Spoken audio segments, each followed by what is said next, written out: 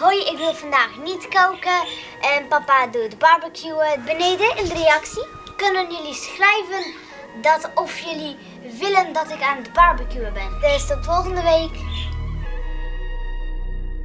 Heel warm.